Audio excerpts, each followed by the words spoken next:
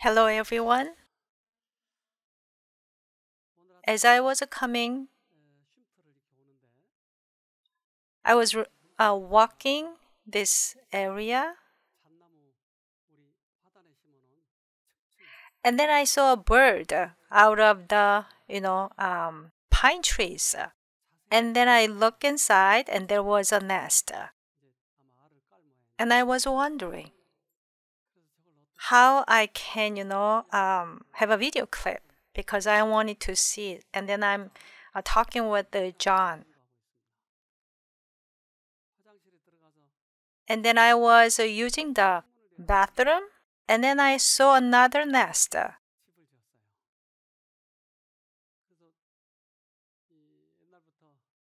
And like uh, for Koreans, like a raven brings a good news. So we have two to nest of ravens. There is a raven, kind of, you know, like a black-head raven. There are so many ravens.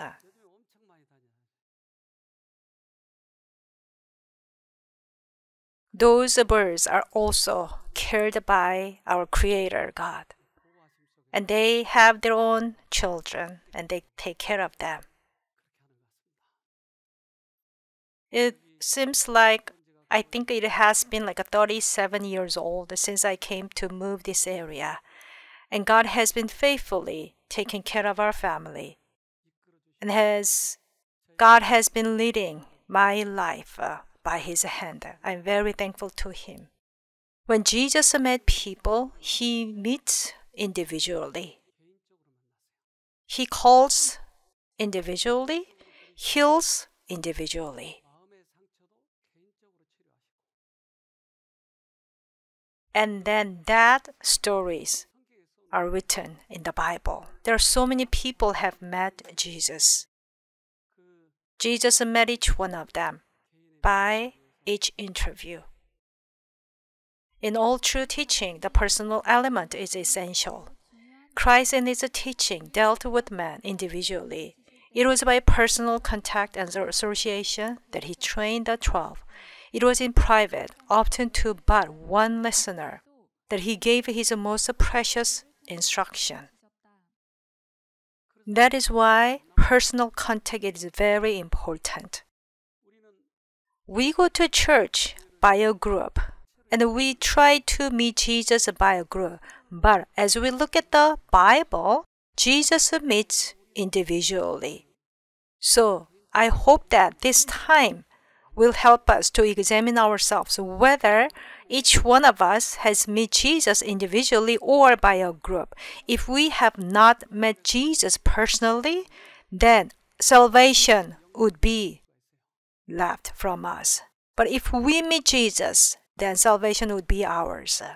As I was reading the Bible, I look at the story of Mary Magdalene. And Jesus actually saved her seven times out of a demon because she was demon possessed. And she was very, very grateful to God, to Jesus, because Jesus helped her to begin the new life. And she actually washed Jesus' feet with her hair. And she poured out the expensive uh, perfumes on Jesus' feet. And Jesus said, Your sins are forgiven whenever He forgives a people.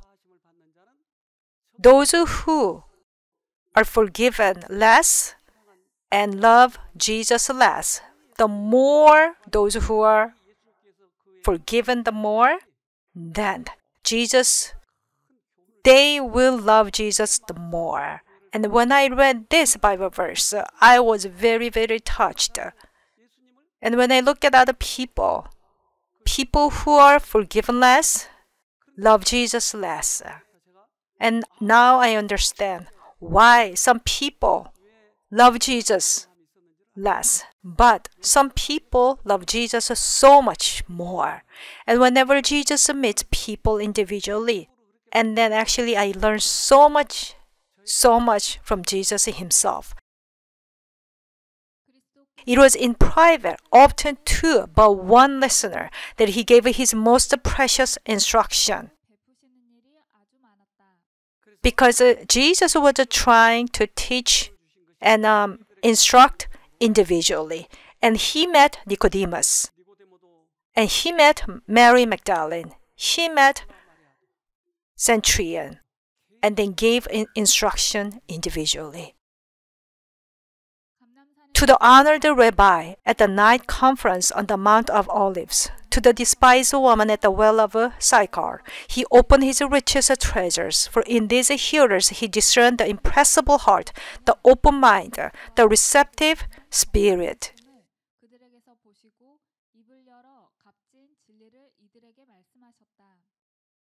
So Jesus met individually, personally, and then one by one because they were so touched by him and came together. And then they came together and then listened to the sermons of jesus. And one time jesus met cornelius. The holy spirit met him. And then he was uh, so inspired and touched. And then he began to help other people and one day jesus sent peter and then made an occasion so that Cornelius was able to meet Peter. They did not know each other at the time. And God knows, you know, one of our church members, you know, uh, Mrs. Hong lives in this area, and Mrs. Kim lives the other side of the, you know, part of the neighbor. But the God knows where they live. Just like that, Peter was living at the time by seaside, Joppa. And this is actually the picture where Peter used to live. And then as you see the picture right here, and then there's a sign, historical site. And this is what Jesus said. Acts 10, verse 6. He is lodging with a Simon, a tanner, whose house is by the sea. Simon his name is Simon, a tanner, and his house is by the sea. God knows exactly. Jesus knows exactly where each one of us is living. When we meet Jesus, we need to meet him personally. Each individual known by Jesus. Jesus knows us individually and is touched with the feeling of our infirmities. He knows us all by name. He knows the very house in which we live, the name of each occupant. He has at times given directions to his servants to go to a certain street in a certain city, to such a house, to find one of his sheep. So when we when I look at my past life, uh, yes, it was true. Jesus met me personally during the dark ages I really was wondering so much why these kind of things happen. As I studied the history, I wanted to, you know, I thought, oh, I wanted to visit uh, Europe. There are many questions that I had. God put me the desire inside of me to want to start the conversation, English conversation. And I went to an English institute. And then one of the most, you know, questions that I had, the occasions, you know, events happen during the dark ages. And somebody gave me a book, and then page by page, scene by scene, gave me so much, you know, touching moments. So without sleeping, I was able to read from cover to cover because I was working during the day. I just uh, was reading during the night. I was so touched. And also, I was so shocked. And uh, because I was working, and most of the things that I forgot, and I began to attend the church because I was uh, working hard. When I went to church, you know, I was very sleepy because I was so tired. It's really hard when I see people just, you know, being sleepy. as I was, you know, uh, as I preach. So when I went to a church, I tried not to be sleepy, and uh, there are some pillars in the church, and it was the best spot for me to sleep behind one of the pillars. And uh, sometimes, even while I was sleeping, you know, I was listening some kind of you know very funny illustrations. And one time I was trying to look, and then guess what? One of my eyesights. One of my eyesights was not working, and I was so shocked, and I went to a hospital. And one of my eyesights uh, was filled with the blood. And doctor told me, you know what? There's no cure for you. Either you will be healed naturally or you already lost one of your eyesight. I was young at the time. And I was I wonder how can I live for the rest of my life? I began to think. And these days I'm writing, you know, my autobiography book.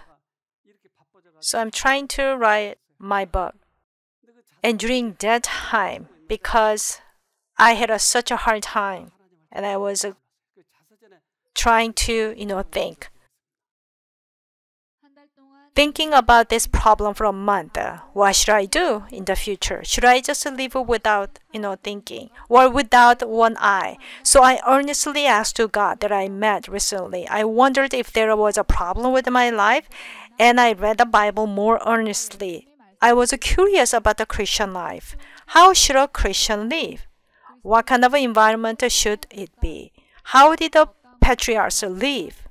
I wanted to get an answer from the Bible. The Lord spoke to my conscience. I thought that I should go out of the city and go to a quiet place for health and education for my children. I was asking so honestly, and uh, God, you know, gave me what I should do.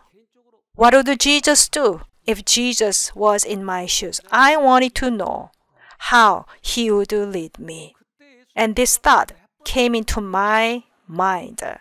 Actually, at the time, Jesus already told me several times. When I was learning English, Jesus already told me. As I was, you know, reading, he already told me but one of my eyes had a problem.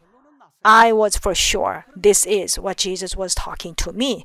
But so now I know I knew what to do. However, I was hesitating. And when my children were uh, this young, we moved.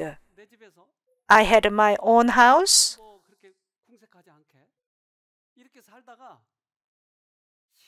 I was, you know, living okay, you know, in a city. And this is the last picture, the place where I used to live in a city.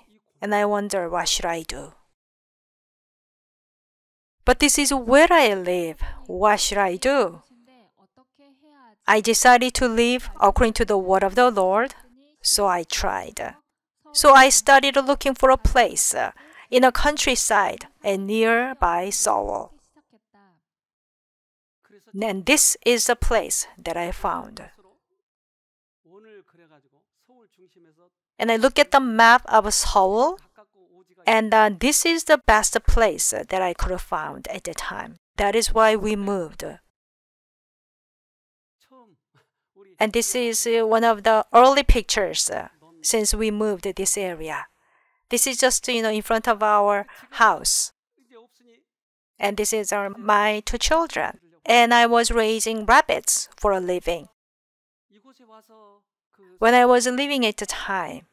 During the day, you know, I had no problem because, you know, it was already, you know, bright. But during the night, there was no street lights. So what should I do? So, but there was no light, you know, so I just look at the outside of the stars and reading the Bible. I did not know what to do. Should I go out to a city once again, or should I continue to live in this countryside? But how can I survive? As I was looking at each star, and I remember that God, you know, made all these stars, and these stars are taken care by God. What about me then? I am also in His hands, I realized. He numbered all the stars. He knows me absolutely. At the time, you know, because I could not see, because I lost uh, one side of my eyes, uh, I decided at the time. The Holy One of Israel, who calls the host of heaven by name and holds the stars of heaven in position, has you individually in his keeping. He looks at me individually. I said, surrender. Maybe about a month or two months. One day, my eyes were so sour, and I just opened my eyes, and guess what? I was able to see again with my two eyes. It was too bright but the light began to come inside of me, and then my eyes was healed completely. I just didn't think about my eye problem, but I just completely trust in the Lord, and He worked in me and healed me. Although I was told by doctor that there's no cure for me, I got the clear evidence. However, I also began to go back to the old life parts of the Bible that I was reading at the time, the story about the servant of a king. John 4, verse 47. When he heard that Jesus had come out of Judea into Galilee, he went to him and implored him to come down and heal his son, for he was at the point of death. Because the servant of this king came saying that my son was about to die. But when he looked at the Jesus appearance, and uh, he was not looking, you know, good. His clothes were, were was so, you know, humble. So he actually did not know what to do. Should I trust in him? Should I have a faith in him? Whether he has a power to heal my son? He was hesitated. His faith faltered when he saw only a plainly dressed man, dusty and worn with the travel. When we meet Jesus, and then every time we had this dilemma what to do.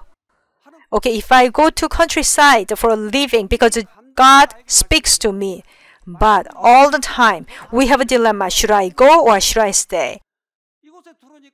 although we followed God's direction, and then we still do not know what to do. Oh, how come you are such a young man? But why, why, you know, did you come to this countryside? I had a dilemma. Two sides, two thoughts in me. Several times I was thinking to get out of this countryside and then go to go back to a city life. But God told me. When Jesus looked at this a noble man, and he said, Except ye looking at the wonders and signs, and that you would not believe me. When he heard this saying of Jesus, and he was so shocked. If Jesus just passed by without healing my son, then my son would be dead. And he made up his mind at the time. And at the time, Jesus told him. John 4, Verse 50 Jesus said to him, Go your way, your son lives. So the man believed the word that Jesus spoke to him, and he went his way. Your son lives. Because Jesus saw, the man made up his mind. The word that Jesus spoke into our soul when we accept it, and then Jesus would begin performing miracles in our life. But if we do not make up our mind, then Jesus cannot perform the miracles that he wants. And then he thought, my son would be healed. The desire. Now, he just went back to his home. The nobleman wanted to see the fulfillment of his prayer before he should believe, but he had to accept the word of Jesus that his request was heard and the blessing granted. This lesson we also have to learn, not because we see or feel that God hears us, are we to believe. We are to trust in His promises. There are so many people who met Jesus personally in the Bible, but every time when they meet Jesus, they had two thoughts and they didn't know what to do. But as soon as they decide up to trust in Jesus, then the miracles happen. When this noble man finished, you know, hesitating, then Jesus had a miracle. So many people had just these waves of their mind, double minded. John 4, verse 51. And as he was now going down, his servants met him and told him, saying, Your son lives. Because his servants wanted to let him know. And then they met the nobleman. Your son lives. But the nobleman actually had a question. John 4:52 Then he inquired of them the hour when he got better and they said to him yesterday at the 7th hour the fever left him. The 7th hour yesterday what? When Jesus permitted when Jesus said he wanted to know about this the time that Jesus permitted and healed so actually the place that he met Jesus. And then on the way home, it took several hours and he was convicted. At the very moment when the fathers of faith grasps the assurance, thy son liveth, divine love touched the dying child. The father hurries on to greet his son. He claps him to his heart as one restored from the dead and thanks God again and again for this wonderful restoration. What did he learn? Saved by faith. Through this lesson, him and his whole family believed in Jesus. Jesus meets us personally, gives us a personal instruction. He confessed that he did not have a faith in God and he promised since then. The same thing happened to me. My eyes was restored, but he healed me. Even now, Jesus lives and he's working the same thing. But so many people actually, you know, guess what? They're thinking that okay, uh, he will, I will believe in Jesus if he heals me. But the vice versa. Many consider that Jesus Christ is a Savior of the world, but at the same time, they hold themselves away from Him and fail to repent of their sins, fail to accept of Jesus as their personal Savior. Their faith is simply the assent of the mind and judgment to the truth, but the truth is not brought into the heart, that it might sanctify the soul and transform the character. The channel of our faith is our mind. When our mind is connected to God, then God begins to heal our soul. Those who have a narrow minded will have a big heart. Those who have a suffered in their mind, Jesus heals them. Those who are proud, Jesus makes them, helps them to be humble. God began to work in my life. I began to look, I began to see a lot of, you know, defects, wrongdoings in other people. And I used to think, oh, that is my special talent. But after Jesus met me. And my ability to criticize has been changed. And He helps me to understand. He helps me to love other people. I used to think that I was a smart person, but God softened my heart. He helps me to be humble. The healing of the mind comes to us through our soul. If we do not meet Jesus personally, then we cannot meet him. We cannot see him. And then we will continue to see other people's weaknesses and defects like a big stuff. And this lamb just need to follow the shepherd. The shepherd knows exactly where the green pastures are located. He leads them into the green pastures. If we meet Jesus personally, He leads us to the best place. He cares for His feeble, sickly, wandering sheep. He knows them all by name. The distress of every sheep and every lamb of His flock touches His heart of sympathizing love, and the cry for aid reaches His ear. As a time, the last times is drawing to us, we must meet Jesus personally. If we do not meet him personally right now, then we will not be able to meet him personally even in the end times. We had a picnic a few days ago. They're my grandchildren. And one of our church members look at my grandchildren and said, Oh, they're just like you, you know, they're so smart. But you know what? She was way over there. And then, but I was able to hear that. How could I hear? Why? You know, the voice was so still and small, but I was able to hear because it was my attention.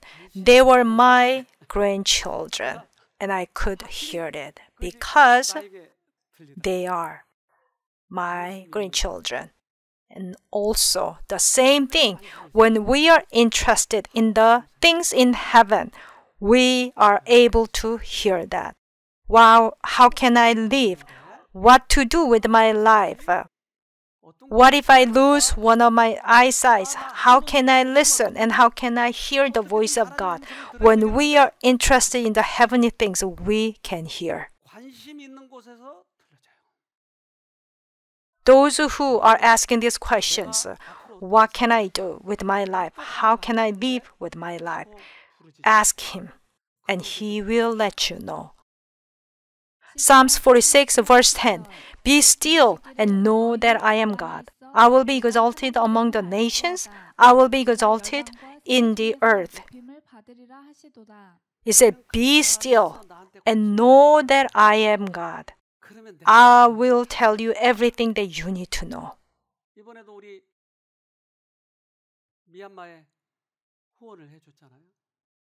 So uh, recently we helped uh, Myanmar and she's so thankful. And she sends us some pictures. You know there's a border between thailand and myanmar and some burmese you know fled to the border side. And now you know um, dr Duile is helping. This is you know their house.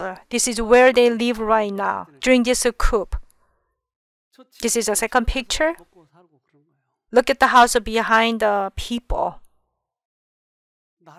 and then their country is now suffering. That is why the people are suffering. You know, even when I was young, I was not that poor. But because of the dictator, so many people are suffering. They are dying. And they are killing each other. We as Christians need to pay attention to these people as Jesus would. Christ left his glory his honor, his high command, and for our sakes became poor, that we through his poverty might be made rich. Now, the question comes home. What will we individually do for Jesus, who gave his life for a ruined world? He speaks to us individually. He guides us individually.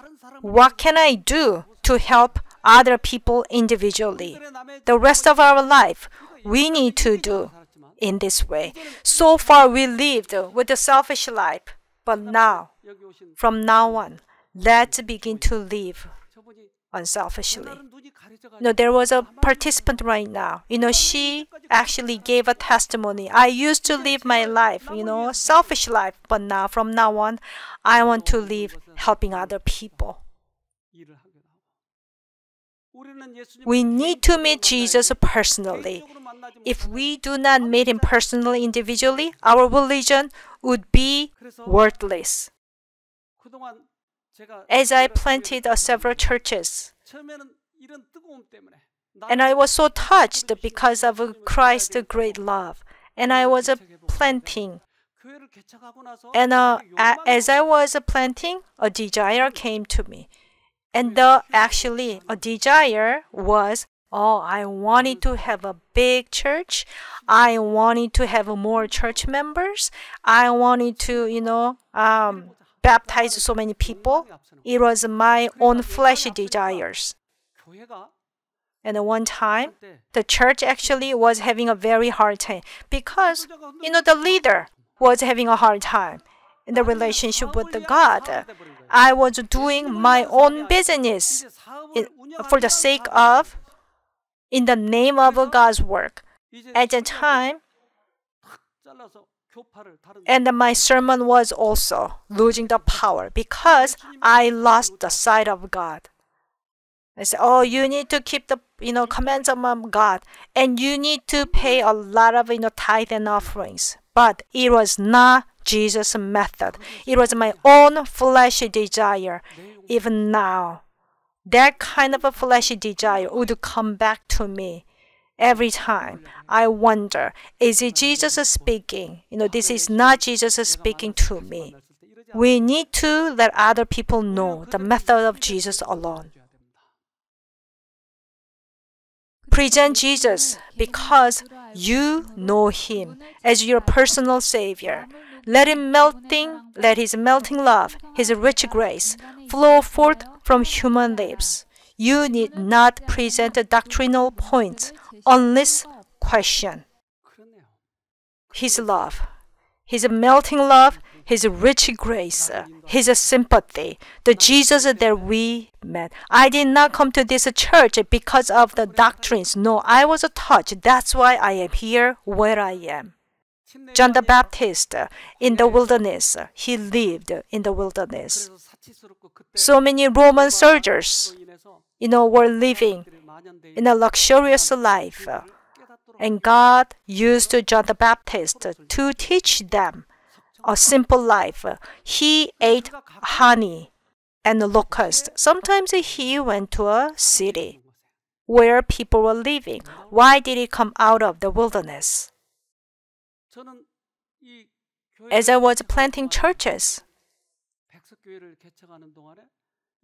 I was so shocked when I read this chapter about the John the Baptist. At the time, I was just so busy, you know, trying to sharing the Word of God. But when I look at the life of John the Baptist, he studied. He studied how to effectively share the gospel. I was so shocked. Let's read. From time to time, he went forth to mingle with men and he was ever an interested observer of what was passing in the world. From his quiet retreat, he watched the unfolding of events. With the vision illuminated by the divine spirit, he studied the characters of men that he might understand how to reach their hearts with the message of heaven. He was an observer of what was passing in the world.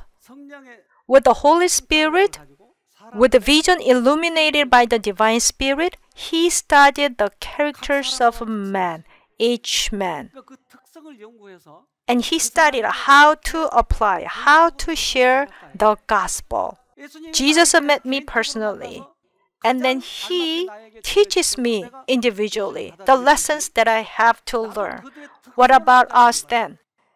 Because we do not know, you know, how some people, you know, you know, live. And then as I study, as I recall them, and then I meet very similar people all kinds of people, but the, actually there are some kind of categories, maybe you know 10 or 20 with the past memories, when I apply the same principle, the same thing, it would work. And then I learn how to apply, how to study people. This is the way that Jesus did. So we, as messengers of the gospel, this is a lesson from him. It is highly important that a pastor mingle much with his people and thus become acquainted with the different phases of human nature. He should study the workings of the mind, that he may adapt his teachings to the intellect of his hearers. He will thus learn the grand charity, which is possessed only by those who study closely the nature and needs of man acquainted with the different phases of human nature. Study how to, you know, contact and teach people. As we have an English seminar, also as we ha- had an IYC program, the thing that they were interested was a Q&A session. Some people shared you know, how could you just wait? How could you know that these certain questions were would be questioned? So they wondered how I, you know, prepared the answers. Did I prepare in advance? No. Is it really difficult? No. Because the reason why because these people are one of the categories. The question that they, they have, the wonders, wondering that they have, as I studied it like a group, so I was easily just answer to those questions. If we do not study, you know, these things, it is hard for us to help other people, and then we also would be, uh, we would be hard developed. Let us remember that Jesus knows us individually and is touched with the feeling of our infirmities. He knows the wants of each of his creatures and reads the hidden, unspoken grief of every heart. So Jesus meets people individually. He knows every one of sufferings and sorrows. So there was a woman pastor from Jamaica.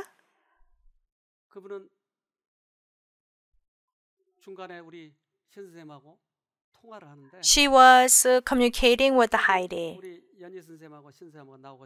And three of us, uh, translator, myself, and Heidi, we were talking. And um, she was sharing about her experience, and I was so surprised to hear her testimony. And she wrote her testimony and sent it to us. She was sick. And uh, she was studying natural remedies. And she went to America. And she was trained as a medical missionary. 신체 스캐너를 해가지고 스캔을 해가지고 And then somebody actually scanned her body and told her, Oh, you have uh, so much toxins in your body, and then you need to uh, remove them. 그걸 하는 거예요 몇 주 동안을. 근데 그게 잘 안 되니까 But you know, it didn't work. And uh, somebody told her again, "Oh, you have so much toxins, and you need, you know, uh, Oriental medicines, Chinese medicine." After two weeks, you know, she lost all her energy. It was really hard to move her body. No energy and shortness of breath, and her lower part of her body was very weakened, and she was unable to move her body. And then another person who professed that you know he is an expert for eyes. And this person told her, "Oh, why don't we change you know something in your body?" So you know she was like, you know, used as a test. So many treatments uh, were done. And then suddenly her mom was uh, going to die. So she went back to Jamaica. She was wondering, what should I do? I need to be healed. So this treatment did not work. No massage, no you know, water therapy, no Chinese medicine. What should I do? God, what should I do? And at that time, a friend from America told her, Why don't you listen to the seminars from Seronam New Star Center? So when we had a you know um, English seminar last January, she joined us and she was learning. She realized, and this is a letter from her. Just days after my arrival in Jamaica, a Korean friend in the US registered me for the Saeronam English seminar in January 2021. It brought a powerful change in my life when the director informed us that changes in the mind makes changes in the body. When I realized the intimate relationship between mind and body, I became aware of the origins of most of the health challenges I had.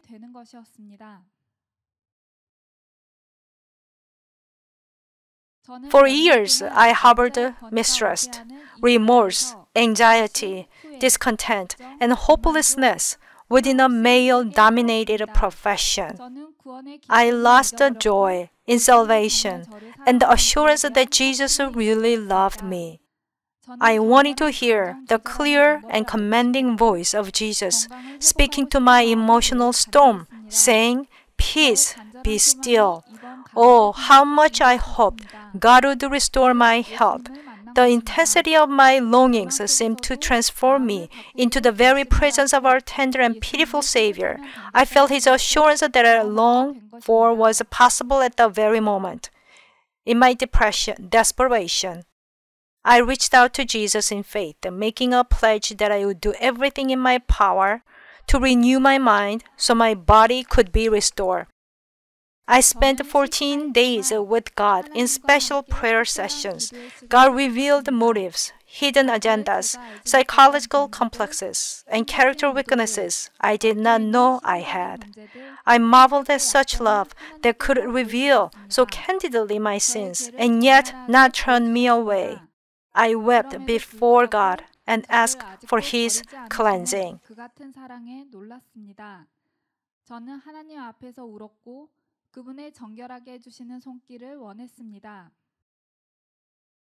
about a week into these special prayer sessions, my spirit was so buoyant. My sister began to notice the difference in my attitude. Before I socially and emotionally distant to all visitors. Now I was busy helping anyone who needed my help. Daily, I assisted a young lady in the community who had mental issues after a breakup with her boyfriend. The counsels I gave her were based on Dr. Kim's suggestion that only God can heal mental illness. I helped her to see that the voices in her head were Satan's lies and she was well esteemed by God. 그녀 또한 하나님의 귀한 존재라는 것을 깨닫게 해주고 싶었습니다. We would meet and pray and study the scriptures. She was filling her mind with good thoughts about herself and rejecting the old lies her boyfriend and siblings would tell her. Within days, her anxiety was much reduced, and she was assisting her mom with the chores around the house. But what was most spectacular was that I had completely forgotten about my own problems. The abdominal discomfort I endured for over two years was gone. Could I dare believe that God had healed me? Something wonderful had happened in my body. A physical self examination of my body revealed that the one sign that linked me to a Google diagnosis of ovarian cancer had somehow disappeared. My secret shame had vanished without a trace. Where did it go? I do not know. Until this day, there is no more pain or discomfort.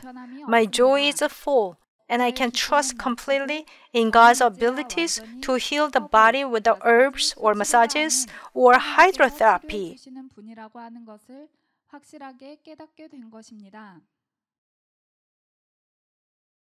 When I was able to look away from those things at the source of healing, God helped me to regain my health. The young lady with the mental issue also received her healing in a matter of weeks. She has given her heart to Jesus and is now working. Isn't Jesus marvelous? We both did not receive a healing from neither by medications or from herbs, but by faith in Jesus.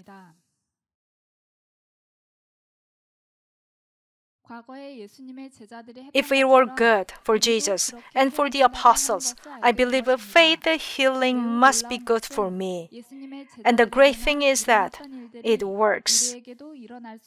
So it is my commitment to leave mainstream ministry and follow on ministry Christ had outlined for me for years now. But I was too spiritually blind to notice. I am requesting your sincere prayers on this new journey.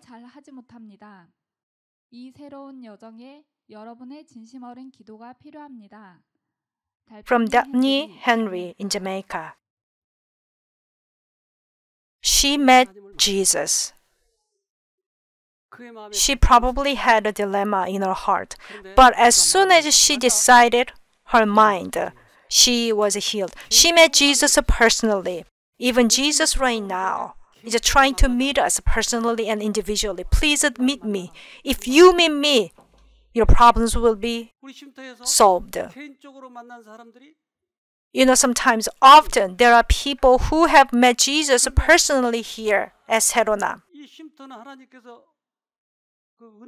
And this ministry, you know, has been blessed by God. And just like Jesus heals the people. But those who have met Jesus personally, their disease would come back again and again and again. If you have met Jesus, then your whatever you have will be solved. So many people said we are living in the last days. What should we do? How should we live? We have no idea when this pandemic would end. We have no idea when we will get vaccinations. But if we meet Jesus personally, we would not fear about these things. By Bible study and daily communion with Jesus, we shall gain clear, well defined views of individual responsibility and strength to stand in the day of trial and temptation.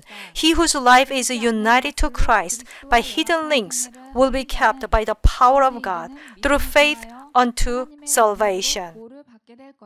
Yes, let's meet Jesus personally. The one who speaks to us in our hearts. When he speaks, grabs him. Uh, my prayer is that we will gain victory in him.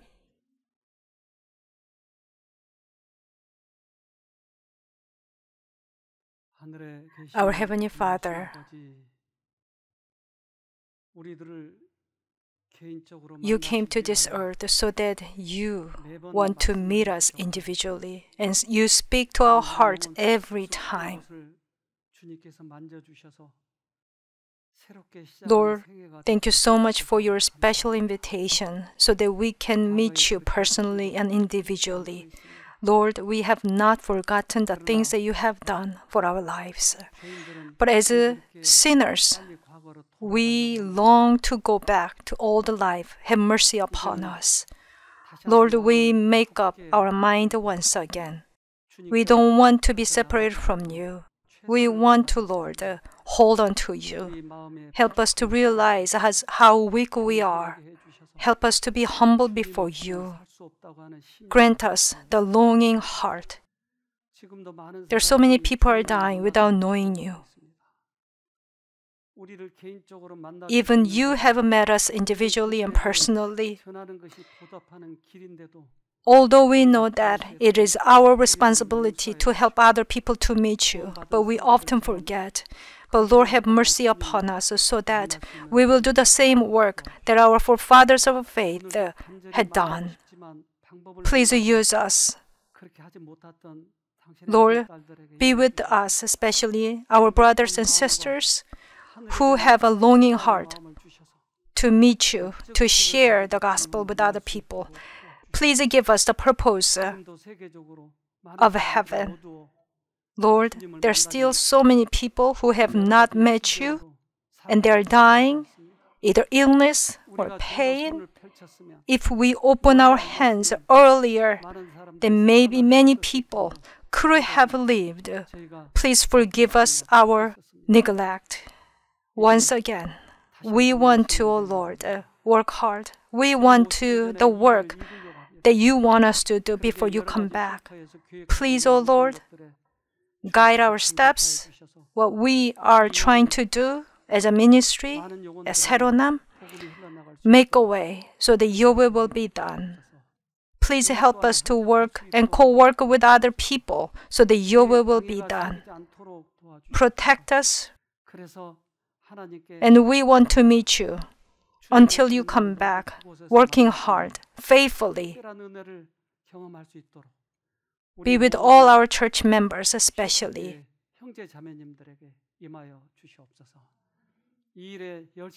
Please, O oh Lord, give blessings to those who want to the work of God.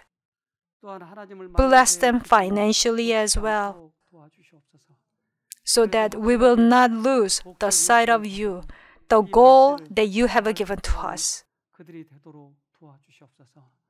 There are still faithful people who worship faithfully, who give faithfully. Lord, please bless them.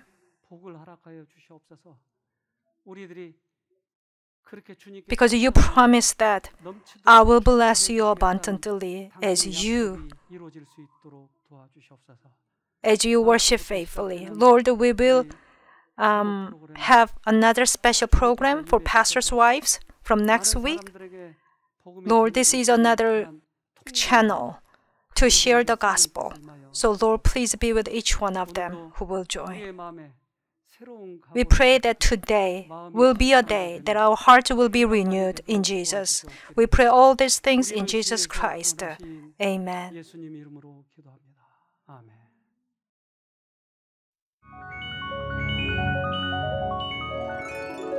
Música